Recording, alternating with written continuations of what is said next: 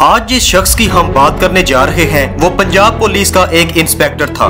लेकिन ये इंस्पेक्टर देखते ही देखते सुबह पंजाब का एक खतरनाक तरीन इश्तेहारी बन गया। दोस्तों, ये वो शख्स था जिसने सबक वज़ीर अला पंजाब चौधरी परवेज इलाही को फ़ोन करके कत्ल की धमकियाँ दी थी।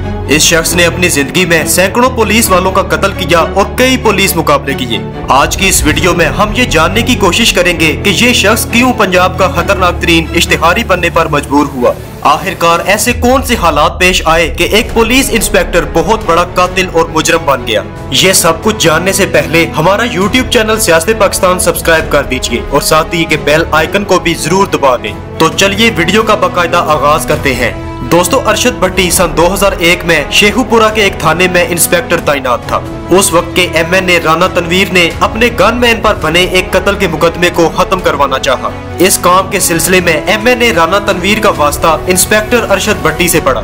लेकिन अरशद भट्टी ने हक सच का साथ देते हुए एमएनए राना तनवीर की बात मानने से इनकार कर दी और उसके गनमैन पर बने मुकदमे को खत्म न किया। इस मामले की वजह से इन दोनों में शदीद इख्तलाफ पैदा हो गया। और फिर हुआ कुछ यूँ कि एमएनए राना तनवीर ने अरशद भट्टी के भाई को अगवा करके उस पर खूब तशद किया। इसके साथ साथ राना तनवीर ने उस वक्त के आईजी पंजाब को प्रेशराइज करवा कर अरशद भट्टी के खिलाफ एक झूठा मुकदमा बनवाया और इसे मुअतल करवा दिया। फिर अरशद भट्टी को डराने धमकाने के लिए इसके घर पर कई दफ़ा फायरिंग भी करवाई।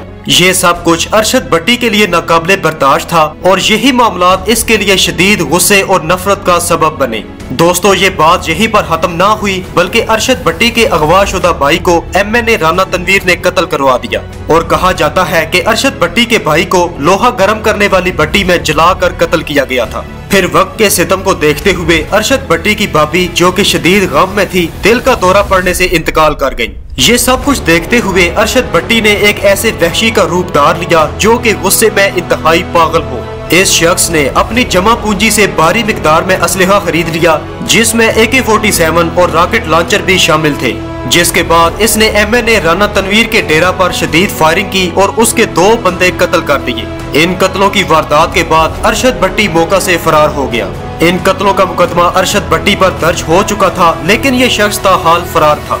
दोस्तों, सन 2003 में अरशद भट्टी ने उस वक्त के मशहूर जमाना, ताकतवर और बासर तरीन S H O inspector Naveed Saeed Gujjar के पास बना ले ली। इंस्पेक्टर नवीद सईद गुजर भी तब कई कत्लों में पुलिस को मतलूब था। इस तरह से इंस्पेक्टर अरशद भट्टी और इंस्पेक्टर नवीद सईद दोनों ने मिलकर एक दूसरे के मुखालफिन को कत्ल करना शुरू कर दिया। और सन 2003 के आखिर में M N A Rana Tanveer ने अरशद भट्टी की तमाम जमीनों और इसके हाली मकान पर कब्जा कर लिया। जमीनों और मकान पर कब्जा होने के बाद अरशद भट्टी के बाकी दो भाइयों ने जब एहतजाज किया तो राना तनवीर ने इन दोनों को भी कत्ल करवा डाला। राना तनवीर के जुल्म की इंतहा होने के बाद इलाके में इस शख्स के खिलाफ बातें होना शुरू हो गई फिर सन 2005 में अरशद भट्टी ने अपने साथियों के हमरा मिलकर राना तनवीर के पाँच लोगों को बड़े बाज़ार में कत्ल कर दिया। इसके साथ साथ अरशद भट्टी ने कुछ ऐसे अफराद को भी कत्ल किया, जिनमें कई पुलिस अफसरान भी शामिल थे। ये शख्स अपने ग्रुप के हमरा कई कत्ल की वारदातों में शामिल रहा। दोस्तों, अरशद भट्टी कई कत्ल की वारदातें करने के लिए पुलिस में मौजूद अपने कुछ दोस्तों से मुखबरी करवाया करता। सन 2005 में ही एमएनए राना तनवीर के बेटे को अरशद भट्टी ने अगवा कर लिया। राना तनवीर के बेटे को कत्ल करने के बाद लोहे की भट्टी में जलाया गया और इसकी लाश को राना तनवीर के डेरा के बाहर फेंक दिया गया। इस वकुआ के बाद राना तनवीर कई पुलिस अफसरों और कई इश्तेहारियों के साथ मिलकर अरशद भट्टी को ढूंढता रहा, लेकिन इन लोगों को अरशद भट्टी कहीं पर भी न मिल सका। दोस्तों, अरशद भट्टी ने राना तनवीर के कई गार्ड्स को प्रेशराइज किया। इन्हें कत्ल की धमकियाँ दी, जिसकी वजह से कई गार्ड्स राना तनवीर को छोड़ चुके थे। फिर सन 2005 के आखिर में अरशद भट्टी के दोस्त इंस्पेक्टर नवीद सईद के कुछ मुखालफिन ने उसे कत्ल कर दिया, जिसके बाद इन कातिलों को अरशद भट्टी ने चुन चुन कर कत्ल कर दिया। इंस्पेक्टर अरशद भट्टी के हाथों कत्ल होने वालों में एक पुलिस इंस्पेक्टर भी शामिल था। इस वकुआ के कुछ अरसा बाद ही एक पुलिस वाले की शादी पर अरशद भट्टी ने हमला कर दिया। इस जोरदार हमले में मजीद तीन सब इंस्पेक्टर और एक S H O Arshad Bhatti के हाथों कत्ल हो गए। कहा जाता है की अरशद भट्टी ने इस वारदात में दो रॉकेट लॉन्चरों का भी इस्तेमाल किया था। सन 2007 में अदालत ने अरशद भट्टी के खिलाफ रेड वारंट जारी कर दिए। इसके सर पर हुकूमत की तरफ़ से दो करोड़ रुपए का इनाम भी रख दिया गया। फिर हुआ कुछ यूँ कि अरशद भट्टी की जमीनों पर पंजाब हुकूमत ने कब्जा कर लिया। दोस्तों, उस वक्त वज़ीर अला पंजाब चौधरी परवेज इलाही थे। अरशद भट्टी ने परवेज इलाही को फ़ोन करके कत्ल करने की धमकियाँ देना शुरू कर दी। ये धमकियाँ काम कर गईं और पंजाब हुकूमत ने अरशद भट्टी की जमीनों से कब्जा खत्म कर दिया।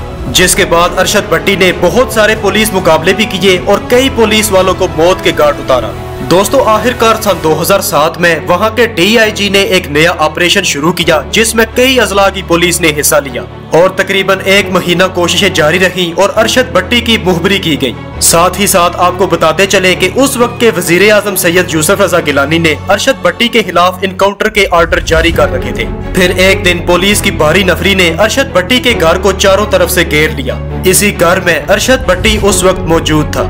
बहुत सारी मुश्किलात का सामना करने के बाद पुलिस अरशद भट्टी के बिल्कुल करीब पहुँच चुकी थी।